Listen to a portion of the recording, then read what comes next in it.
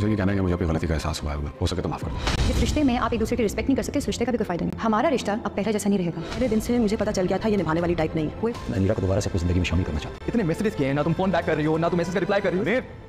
मरियम पर हाथ उठाने के बाद सिप्तैन मरियम के सामने बहुत ज़्यादा शर्मिंदा होगा और यहाँ आने वाली एपिसोड में वो मरियम से अपने किए की माफ़ी भी मांगेगा और उससे यही कहेगा कि मैंने जो कुछ किया मैं उस पर शर्मिंदा हूँ। लेकिन यहाँ मरियम सिप्तैन की ज़्यादतियाँ कई बार बर्दाश्त कर चुकी है और अब अब तो उसने हद कर दी, मरियम पर हाथ ही उठा दिया।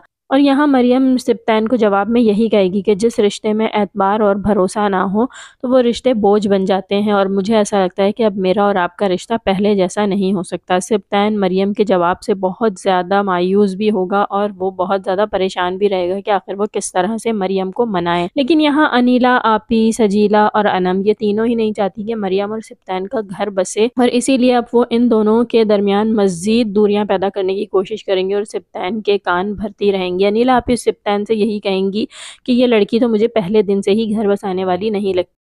और आखिर क्यों करेगी? जिसका शोहर उसके पैरों में पड़ा रहेगा तो अब वो तो ऐसी ही होगी। यहाँ पर अनिला आपी सिप्तान के दिल में अब ये बात डाल रही हैं कि उसने मरियम को सर चढ़ाकर रखा हुआ है। अब देखते हैं कि सिप्तान अनिला आपी की बातों में अब भी आता है और अपना घर बर्बाद करने के लिए फिर से कोई ईट लगाता है या अपने घर को बचाने की कोशिश करता है। कमेंट करके बताएँ सिप्तान इस बार क्या करेगा? घर बचाएगा या फिर अपने घर को मजीद बिगाड़ लेगा? दूसरी जानब हम ये भी देखेंगे कि हया जो कि समीर के साथ खुश नहीं और दादू भी हया के वालदेन से ये वादा लेके जा चुकी हैं कि उन्हें ये रिश्ता ख़त्म कर देना चाहिए, क्योंकि हया ऐसा चाहती है। लेकिन यहाँ उनके इंतकाल के बाद हया की अम्मी ने यही कहा कि अभी कुछ दिन इंतज़ार कर लें, हो सकता है कि हया का फ़ैसला ठीक ना हो। लेकिन आने वाली एपिसोड में हम देखेंगे कि समीर हया के फ़ोन पर बात ना करने की वजह से बहुत ज़्यादा परेशान होगा और हया के घर ही आ जाएगा।